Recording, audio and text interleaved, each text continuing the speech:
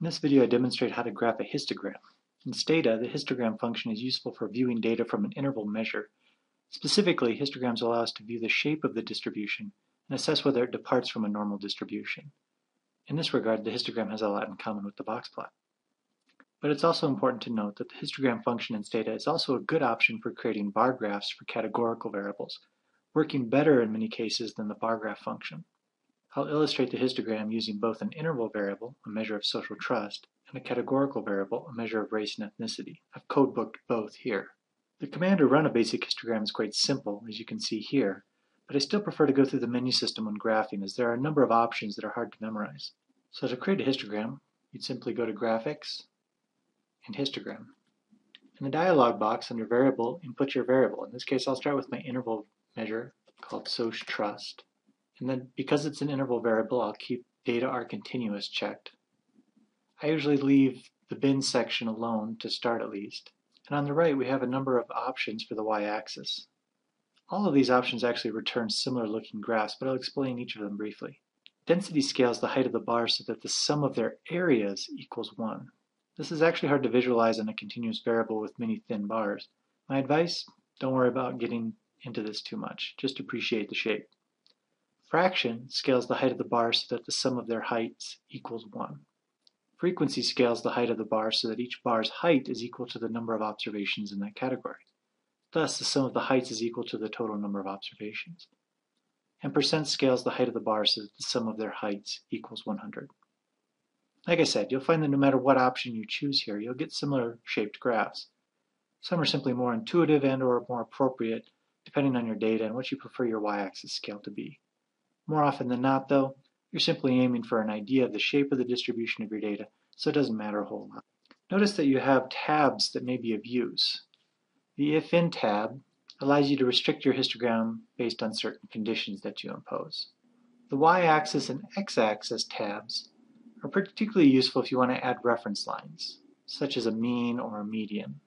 And the By tab, located here, allows us to draw subgraphs for unique values of categorical variables. I'll show you that in a minute. Finally, let me show you the density plots.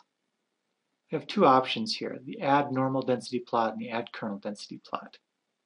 The normal density plot specifies that a histogram be overlaid with an appropriate scaled normal density curve. The normal curve will have the same mean and standard deviation as the data, allowing you to more easily compare the observed distribution to a hypothetical normal distribution. The kernel density plot provides an estimate of the most likely population distribution for a continuous variable that would account for this sample distribution. It smooths out some of the bars that are extremely high or low because of variation from one sample to the next. I personally find that the normal density plot to be the most useful, so I'll check that in this case. Okay, let's hit submit.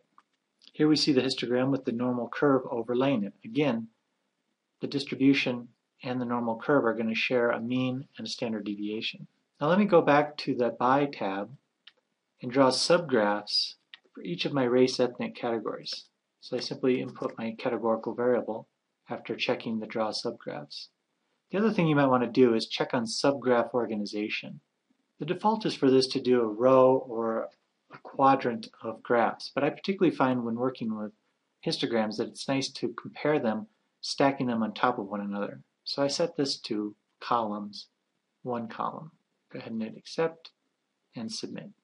So here you can see that it divided our data into the four categories, white, Asian, black, and Hispanic respondents, and then demonstrates their distribution relative to one another.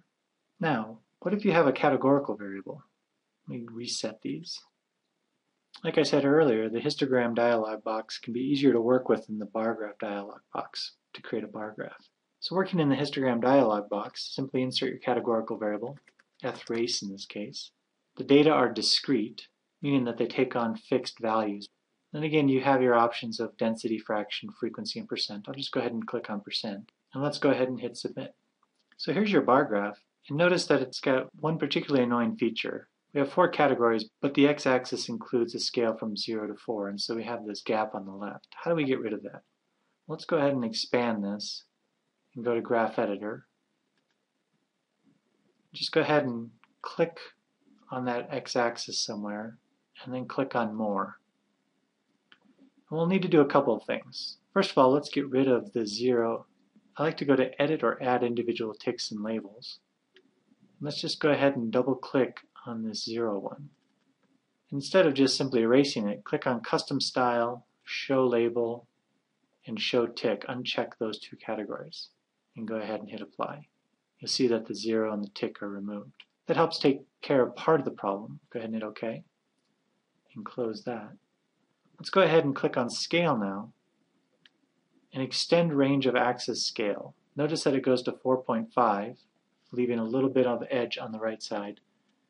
But it starts at 0, and you'll notice that the lower limit can be anything less than or equal to 0.5. So let's go ahead and put 0.5 and hit apply. And that redistributes things a little bit better. Go ahead and hit OK. And hit OK. The other thing you can do is if you just want to click on the bar, right click and go to bar properties, we could change the bar width. Let's change it to 0.75, apply, hit OK. Let's go back to our x-axis and instead of numbers, let's go ahead and click on label properties. We want to show the labels, but let's use the value labels, the actual names of the race ethnic groups, and go ahead and hit OK. Finally, tick properties. We don't actually need the ticks under the bars, so let's simply uncheck show ticks and hit OK. One final thing, you'll notice on the y-axis, the default is for the values to be listed vertically. Go ahead and click on those, and then instead of vertical, do the drop down and select horizontal. So those are just some of the useful edits one can make in the histogram graph editor. Hope you found this useful.